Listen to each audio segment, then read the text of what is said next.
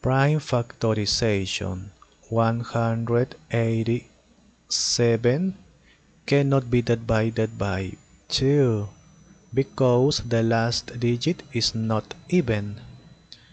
Cannot be divided by 3 because 1 plus 8 plus 7 is 16. 16 cannot be divided by 3. Cannot be divided by 5 because the last digit is not 5 or 0. 7 cannot be divided by 7.